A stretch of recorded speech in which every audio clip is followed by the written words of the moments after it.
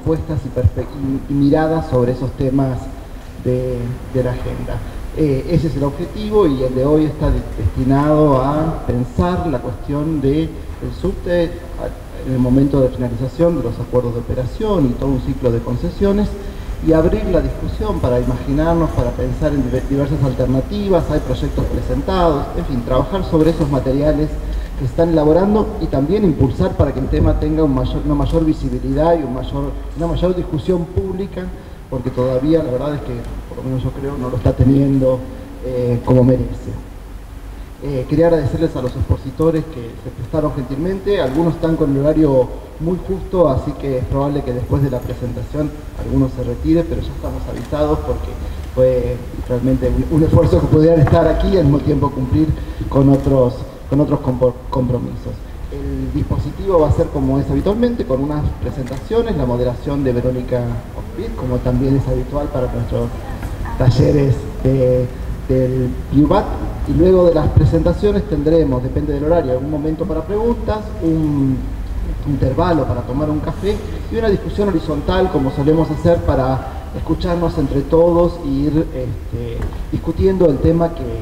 esperamos quede presentado en nuestra primera parte del trabajo. Así que bueno, le doy la palabra a Verónica que va a hacer una pequeña introducción y luego ya pasamos a las presentaciones. Gracias. Eh, bueno, hago una brevísima presentación del tema, me imagino que estarán todos bien informados acerca de, lo que está ocurriendo y no está ocurriendo con, el subte, pero de todas maneras para, digamos, saber que estamos todos hablando de lo mismo y cuáles son los temas y si me equivoco en algo ya tendrán oportunidad de corregirme. Eh, hace muchísimos años que Metrovías está a cargo de la operación del subte de Buenos Aires, eh, desde el 1 de enero del 94 se puso en marcha la concesión, que en realidad se había dado en el 93, y en el 2013 cambió ese estatus de concesionario a un, lo que se hizo fue un acuerdo de operación y mantenimiento, que era el marco de eh, una emergencia del subte, eh, que arrancó ahí en 2013, eh, duraba por cuatro años, por, prorrogable a uno más, con lo cual estaría terminando esa emergencia, o sea, estrictamente lo que, lo que termina no es la concesión, sino ese acuerdo de operación y mantenimiento que eh, la ley 4472 eh, es eh, bastante clara al respecto que no se puede prorrogar más que la emergencia, que termina. Así que bueno, algo debería suceder con el subte. El Ministerio de Desarrollo y Transporte de la ciudad presentó a cargo de Franco Moquia, presentó un proyecto en mayo pasado, es un proyecto muy, muy chiquito que básicamente lo que dice es lo que propone es que la legislatura le dé el poder eh, a base para llamar a un nuevo eh, operador, para, hacer una nueva concesión por 15 años, o sea, sería hasta 2033, suena muy lejos, o sea, eso también da la pauta de por qué es tan, tan importante debatir esto a fondo, em, y una licitación internacional, en principio, eh, es la que se estaría llamando. Em, a mi juicio, este proyecto tiene algunos problemas. Em, para empezar, no le estaría dando a la legislatura la posibilidad de eh, eh, de, proponer algunas cuestiones que, me parecen clave respecto de cómo se va a dar esta concesión, ¿no? Eh, qué va a implicar, hasta dónde es base, hasta dónde el concesionario, qué va a pasar con la administración de los negocios colaterales, supone que da mucho dinero, con el tendido de fibra óptica y demás. Sí habla de eh, que tienen que conservar a, los empleados, sus tecnologías y su salario, pero no dice mucho de, esas cuestiones que me parece que son muy relevantes, ¿no? Digamos, cómo se va a dar esa relación entre público y privado sobre la que entiendo los legisladores tienen mucho para decir, o deberían tener mucho para decir. Eh, lo segundo, hay un debate que creo que es muy importante eh, sobre la cantidad de votos necesarios para aprobar esto. Eh, la Constitución porteña dice en su artículo 82, 84, 82 que cualquier eh, concesión de espacio público, no me acuerdo la redacción exacta, pero bienes inmuebles que sea mayor de 5 años, tiene que aprobarse con dos tercios, o sea, mayoría especial y doble lectura, y el oficialismo dice que no, que le alcanzaría con eh, mayoría simple, para lo cual tienen a los legisladores, ahí, eh, el interbloque Vamos Juntos tiene en este momento 32 legisladores, 28 del PRO, más 2 de Graciela Ocaña, más 2 de Coalición Cívica, con lo cual tienen 32 legisladores y les estaría alcanzando, si es como ellos dicen, que se aprueba con mayoría simple, lo cual creo que también es,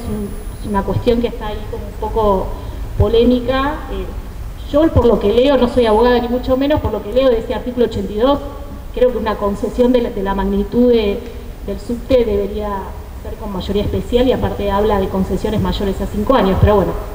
también es, uno de los, temas que hay que discutir. Y lo tercero es que no se llega, porque hablamos de una, licitación internacional de un servicio como el subte de Buenos Aires, ¿no? 60 kilómetros de túneles, 80 y pico de estaciones, más de un millón de pasajeros por día, eh, hay que preparar los pliegos de todo eso, con todos los detalles que eso implica, eh, ver las presentaciones, estudiarlas, de impugnaciones, digo, ya está. Eh, termina ahora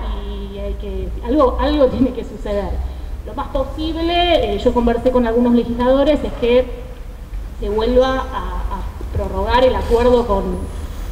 con Metrovía, para lo cual sería necesario modificar a la vez los plazos de emergencia, que si eso se logra con mayoría simple,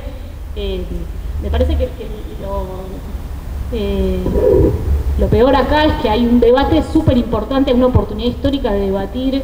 por primera vez los porteños, porque en el 94 la concesión la hizo la nación, entonces por primera vez los porteños tenemos posibilidad de debatir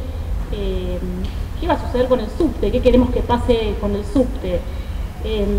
yo publiqué una nota en calle el domingo pasado, el título original que yo le había puesto era el no debate. Después lo cambiaron porque los editores siempre cambian los títulos, pero a mí me, realmente me llama la atención que ese debate no se esté dando. Em, hablé con Diego García Vilas, que es em, legislador de Confianza Pública, de la Fuerza de Ocaña, y a la vez él es presidente de,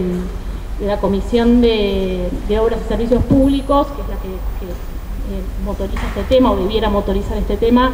y él me dijo algo que me quedó rebotando, que es que, al usuario en realidad no le cambia demasiado si es público o privado, que la discusión mayormente es política. Y yo me quedé pensando si le cambia o no, si me cambia a mí o no como usuaria del subte. La verdad que no, lo tengo demasiado claro, tal vez salga.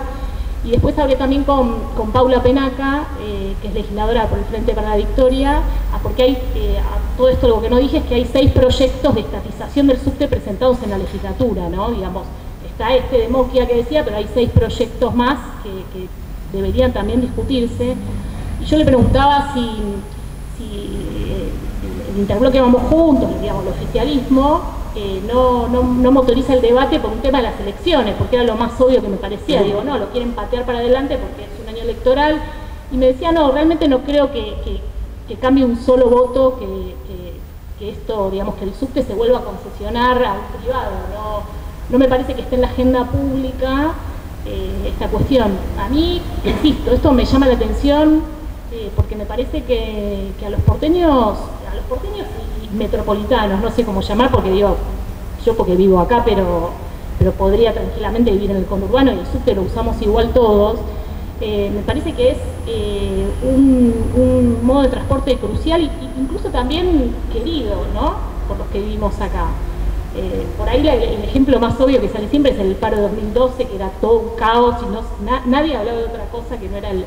paro de subte, por más que uno usara la bicicleta u otro modo de transporte, nadie llegaba a ningún lado, todo era un caos. Eh, pero bueno, sin, llegar a ese extremo, eh, me parece que es súper importante la discusión que nos está dando, así que bueno, aprovechamos este panel de lujo para, para darla en este ámbito y, ojalá que ustedes también se puedan llevar a sus propios entornos los temas como para instalar, aunque sea de, manera pequeña y precaria, un debate que debería estar ocurriendo. Así que vamos a arrancar con Julio Rearte, eh, local acá del Privat, continuando después con Gabriel Fuchs, que es legislador porteño, eh, con Beto Pianelli, eh, metrodelegados, y Hernán Traer, que es asesor de la legislatura. Así que bueno, arrancamos con olvidé decir una cosa que en, este espíritu de que el espacio recoja todas las opiniones, fueron invitadas diversas figuras del oficialismo para que participaran también de este debate, pero eh, por diversas razones se fueron excusando y ninguna finalmente terminó incorporando este panel, pero que fueron invitadas varias de las personas del oficialismo para plantear también esa posición y tenerla a disponibilidad para, para el debate.